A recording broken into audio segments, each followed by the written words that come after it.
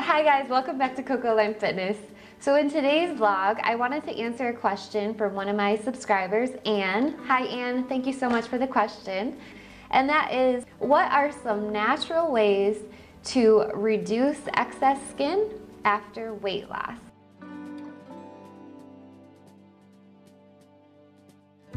Okay, so I have my notes here with me.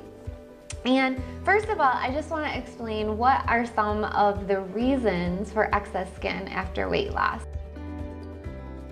Losing too much weight too fast is the number one reason.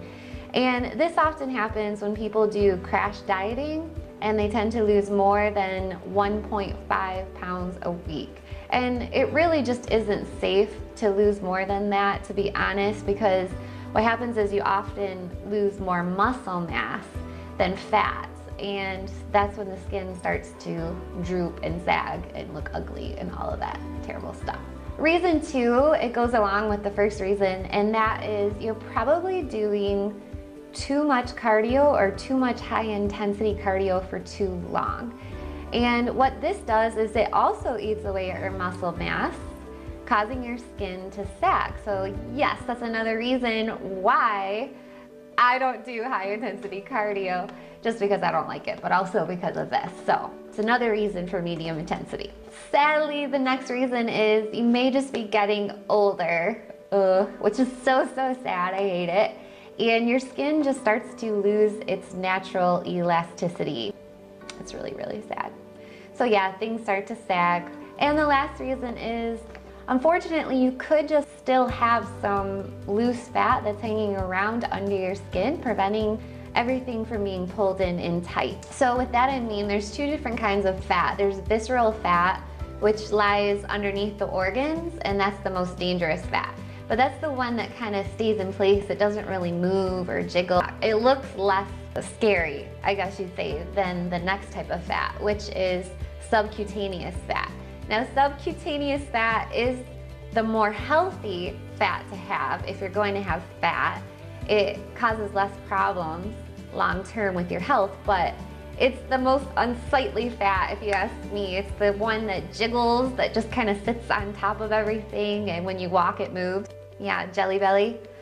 Oh, I hate it, hate it. And it's honestly, it's one of the most hard or most difficult fats to lose as well. So what happens is if you have like a couple pounds of that lying underneath your skin, then nothing's gonna be tight.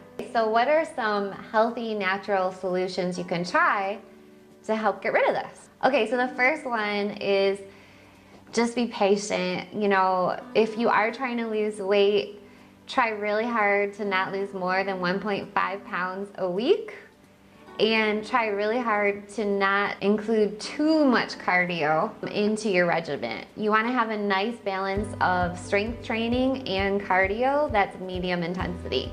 If you do decide to do high intensity, it's perfectly fine if you like it, but limit the time that you do it. So the next thing you wanna do is you want to add in more protein, right? We hear this all the time. Well, you need to add in more protein because that's what helps build your muscles. So a good rule of thumb is about 0.8 grams to 1 gram per pound of body weight. This is difficult to do. I'm not going to lie to you. I personally don't do it because I just don't like eating that much protein. But if you're somebody who wants to really build muscle and tighten everything up, then this is a good rule. And of course, you always want to pair that with really healthy, good foods, right? You don't want to put junk into your body even if it's considered like health food. Okay, so the next thing you wanna do is if you have dry skin, I know I do, is you wanna make sure that you moisturize a lot. Um, a couple good ones that I use straight from the natural food store is the glycerin, which basically is the number one ingredient in a lot of lotions out there. So the cool thing is, is it's completely natural and it soaks right into your skin and it's not greasy at all. It's awesome. You can also use some good essential oils if your body is okay with them, like frankincense or argan oil is really good as well.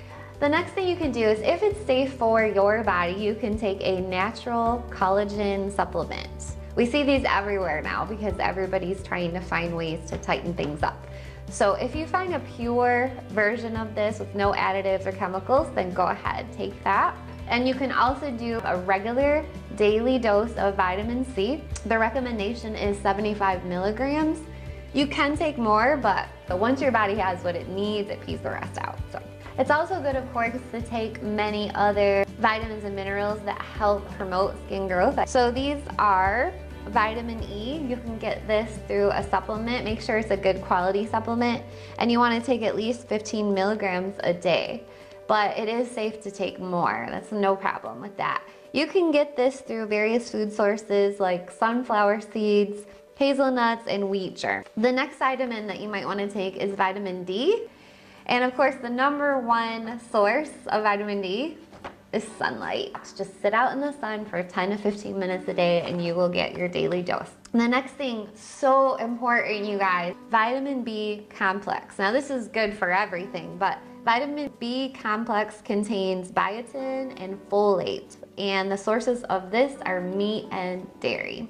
So if you can't have meat or you can't have dairy, um, it's good to take a, a quality supplement for this. Okay, so just a couple reminders for you guys. progress is really, really slow, and especially when we have something like excess skin, that takes a long time to change that. So you just Make sure that you're patient, stick with these different tips, and I guarantee you're gonna see changes in no time. Now, don't get discouraged. Again, some of this is genetics, okay? We're always gonna have little bits on us that are jiggly. So embrace the ones you can't get rid of, you know? Uh, love your body and be happy because, you know, when we focus so much on how we look, then that's just a recipe for dissatisfaction in life. It's it's more about how we feel. And if you know that your body is healthy from the inside, you know that you're doing everything you can to take care of it, then that's all that matters, right? So that's it today, guys. I hope you enjoyed this vlog.